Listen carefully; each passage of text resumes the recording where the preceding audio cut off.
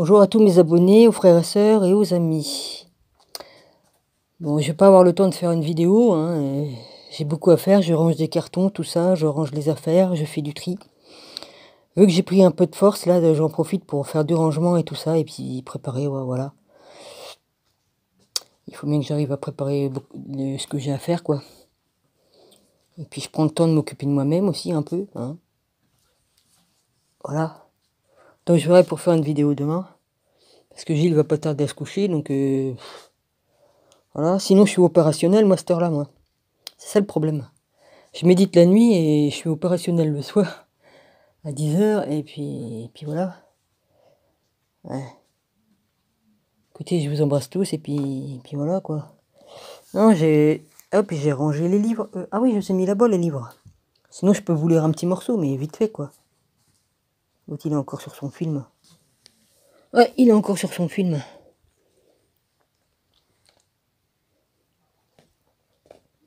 Faut faire un petit truc alors quand même.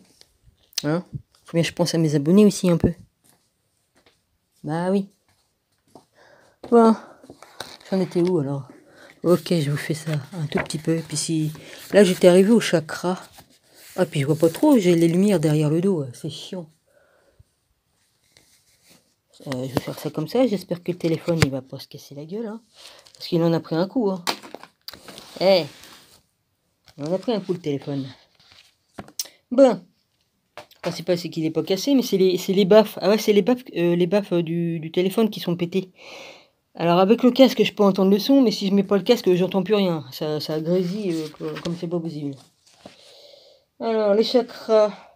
La clé de l'éveil spirituel.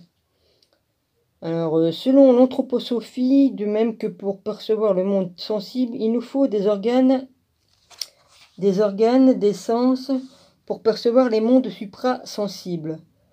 Nous aurions besoin d'organes suprasensibles. Ces organes existeraient en germe chez tous les êtres humains, mais ce serait un sommeil à notre époque. Euh, excusez-moi. Ce serait en sommeil à notre époque. Certains de ces organes ou chakra aurait été en partie actif autrefois, mais aurait été anesthésié pour les besoins de l'évolution. Ouais, disons qu'on était plus évolué avant, puis nous ont dévolué plutôt, hein, voilà. Bah évidemment, on avait 12 hum, brins, puis il y en a même qu'on avait même plus que 12. Vous imaginez un peu les pouvoirs, enfin les pouvoirs, les facultés qu'ils avaient, évidemment, enfin qu'on avait à l'époque. Hum. Maintenant, on plus que deux, deux, brins, mais si on éveille notre Kundalini et tout ça, ça nous ouvre des portes. Hein. Euh, il y a la glande pinéale aussi, hein, qui fait beaucoup. Hmm. Alors, il fallait, selon, euh, je dirais pas son nom, que l'être humain perde provisoirement la conscience des mondes spirituels afin de développer la conscience du de soi. La médiumité et les perceptions de certains peuples tribaux seraient des manifestations de perception spirituelle selon le mode ancien. Les Occidentaux auraient eu cette clairvoyance instinctive jusqu'au Moyen Âge. Par un travail sur soi, au moyen d'exercices appropriés, ces organes de perception pourraient être développés et euh, et réactivés.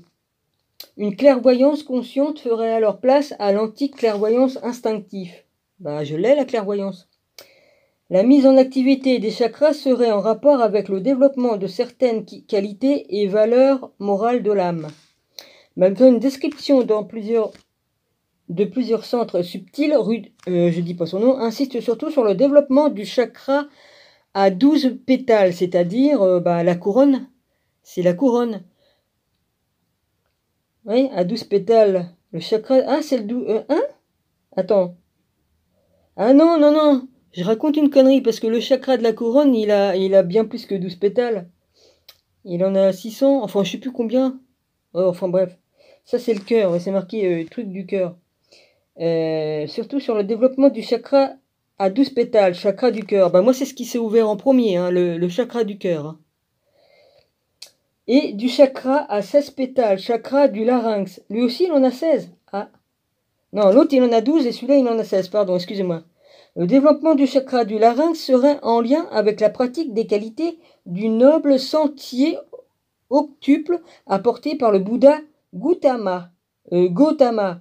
C'est plutôt Gautama. C'est un A, pas un U. Euh, c'est un A, pas un O, pardon.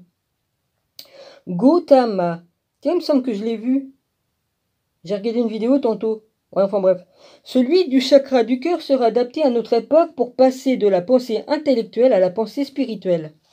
De nos jours, le stade actuel de l'évolution de l'humanité exigerait que les enseignements ésotériques, ceux qui concernent l'homme intérieur, soient mis à la disposition de tous, alors qu'autrefois le contenu ésotérique n'était divulgué qu'aux disciples de certaines sociétés secrètes. Alors euh, voilà, il y a le nom du monsieur, évidemment je ne le mets pas, ajoute que ces exercices seraient appropriés à l'état de conscience de notre époque et qu'ils sont efficaces pour le développement spirituel si les conseils qu'il donne dans cet ouvrage de base sur le sujet sont suivis sérieusement. La Rose-Croix. La Rose-Croix est un ordre hermétiste chrétien légendaire dont les premières mentions remontent au début du XVIIe siècle en Allemagne. Hmm. L'existence de l'ordre est celle de son fondateur présumé Christian Rosen, euh, je ne dis pas le restant, excusez-moi, sont sujets à controverse. Quoi qu'il en soit, à partir du XVIIIe siècle et jusqu'à aujourd'hui, de nombreux mouvements se sont réclamés de l'ordre de Rose-Croix. Hmm. Ce serait pas euh, des francs-maçons, ça aussi? Hmm où se sont référés à la tradition rosicrucienne. Leurs membres se sont appelés les rosicruciens. Le terme Rose-Croix désigne. Parce qu'il y, y, avait les Rose-Croix euh, avec la Croix-Rouge, mais il y avait les chevaliers de la Croix qui étaient euh, tout, tout, en blanc. C'était différent ceux-là.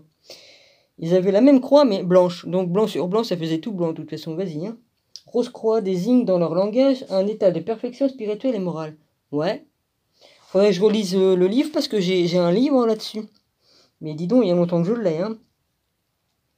Comme archétype de société secrète immémoriale, et toute puissance, les Rose-Croix apparaissent dans la littérature ésotérique souvent comme successeurs des chevaliers du Graal.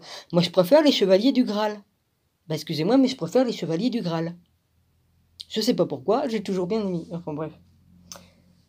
Euh, du Graal et des Templiers. Bon, bah, je sais pas pourquoi. Bah, comme j'étais enfant, euh, j'aimais bien ces trucs-là. Je regardais à la télé. Bon, bah, excusez-moi. Hein. Si les Rosicruciens de toute obsédience ne se sont nullement troublés d'associer christianisme et doctrine, réincarnationnisme, ce qui a priori est incompatible, ils frayent aussi avec la pensée magique et enseignent la le développement des facultés paranormales. Il n'y a pas besoin de de, de, de, les réveiller. Ça serait, moi, ça, c'est, moi j'ai toujours ces, ces trucs-là, moi. Vas-y. Si, me chier, mais tout le temps, euh, vas-y, venez au bon moment. Eh, tu peux tirer la chasse d'eau, hein, j'en viens, je crois. Ouais, je vais pas y aller toutes les 10 minutes non plus, hein, vas-y. Le karma, au regard des Rosicruciens, est la loi spirituelle selon laquelle toute pensée, toute parole et toute action de notre part s'inscrivent dans la mémoire universelle, produisant tôt ou tard une réaction équivalente dans notre existence. C'est pourquoi on l'appelle également loi de cause à effet aux lois de compensation. En vertu de cette loi, à laquelle nul ne peut se soustraire, tout individu récolte ce qu'il sème, non seulement dans son existence en cours, mais également de vie en vie.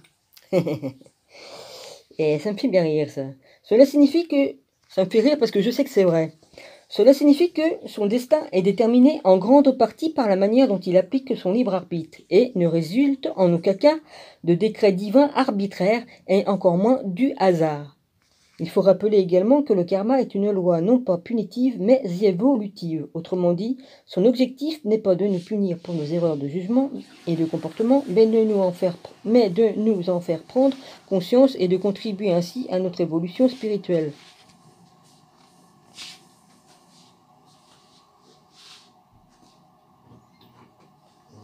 Bonne nuit, dors bien.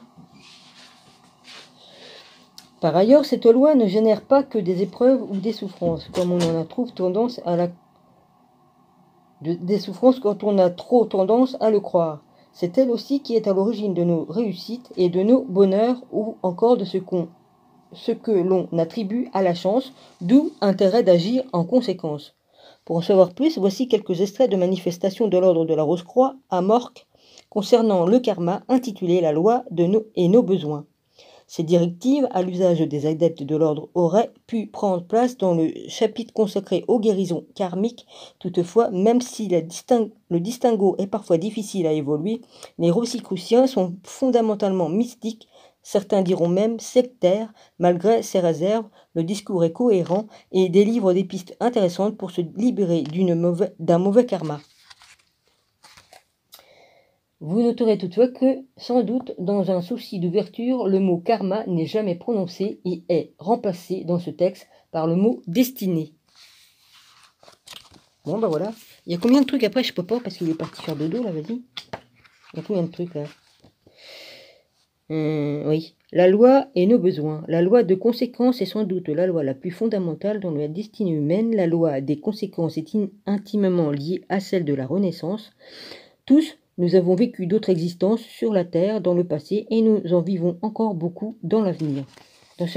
Dans, chacune d'elles, nous avons mis en œuvre des causes diverses dont quelques-uns ne donnent leur effet que maintenant dans notre vie actuelle. Ces effets s'appellent dettes de destinée. Ainsi, nous sommes en train de payer des dettes du passé et nous récoltons de même des récompenses. Et c'est cela que nous appelons selon le cas une mauvaise ou une heureuse destinée.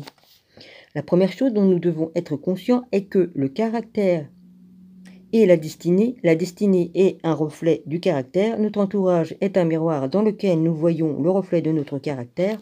À cette règle générale, il y a cependant une exception, c'est quand, lors de nos précédentes vies sur Terre, nous avons réussi à nous réformer de sorte que nous avons maintenant un bon caractère.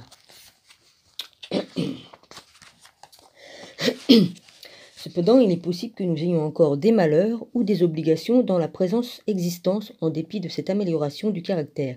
Cela est dû au fait que nous avons amené du passé des dettes que nous payons maintenant. Et comme vous le savez, quand on paye une dette, on trouve en général cela limitatif, restrictif et parfois désagréable. Toutefois, il reste la pensée consolante que les dettes payées le sont définitivement et qu'elles ne réapparaîtront plus dans nos vies suivantes. Les traits de caractère qui le plus souvent cause des destinées infortunées sont la colère, la peur, l'orgueil, la haine, la vengeance, la sensualité, l'égoïsme, l'envie de l'intolérance. La première chose à faire est d'examiner notre façon habituelle de penser afin de voir si l'un de ces traits de caractère fait partie de notre manière d'être, fût-ce à un faible degré. Si oui, il faut nous mettre à l'œuvre pour les éliminer graduellement. Les deux moyens principaux pour le faire sont un changement dans nos pensées et un changement dans nos actes, surtout envers autrui. La pensée toutefois est le principe de base et si nous corrigeons nos pensées habituelles, nous verrons que nos actes suivront et presque automatiquement notre nouvelle manière de penser. Bon ben voilà, j'arrête ici. Je reprendrai demain à la page 43. Le pouvoir créateur de la pensée. Ça, c'est génial. Et ça marche.